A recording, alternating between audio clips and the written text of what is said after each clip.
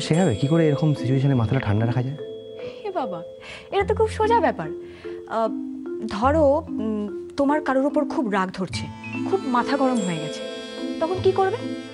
তখন তখন তোমাকে কোনো হাসির ইনসিডেন্ট ভাবতে হবে। মানে ধরো মজার মজার গল্প তারপর মজার মজার চরিত্র এরকম। কীরকম? যেমন ধরো একটা হ্যাঁ একটা গম্ভীর লোক।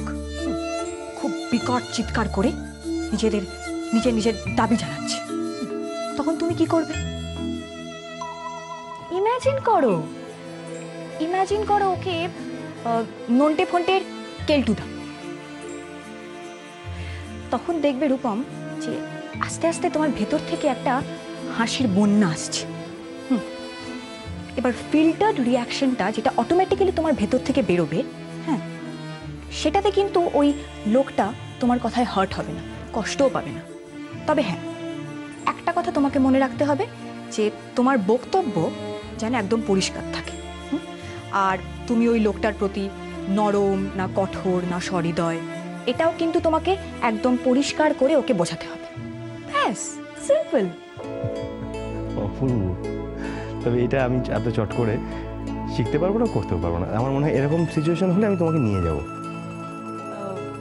সে না হয় ঠিক আছে, কিন্তু আমি কিন্তু কোনো পারিশ্রমিক ছাড়া কোনো কাজ করব না। এই যে যেমন মাথা ঠান্ডা রাখার জন্য তোমাকে দু তিনটে কথা বলেও দিলাম, সেটা কিন্তু আমার, তার জন্য আমার পারিশ্রমিক চাই রূপম পারিশ্রমিক ছাড়া আমি কিছু করি না।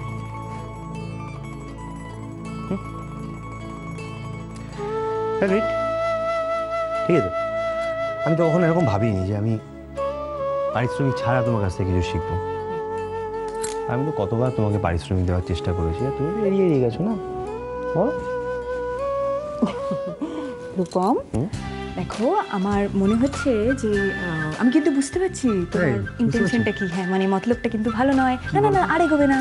না না রূপম। না গেলে কি করে হবে? দেখো এত বড় একটা কথা যখন শুনেছি যে পারিশ্রমিক না দিয়ে আমি তো না দেখো দেখো দেখো তুমি বোঝার চেষ্টা করো? রূপম দেখো কেউ কেউ কেউ চলে আসো রূপম দেখো। হ্যাঁ মানে কি আসবে? তুমি ছাড়বে না আমাকে? কোনো প্রশ্নই উঠছে না। রূপম রূপম ছাড়ো না। রূপম রূপম রূপম, আমি কিন্তু ইচ্ছে করে করিনি। আরে আমি জানি তো।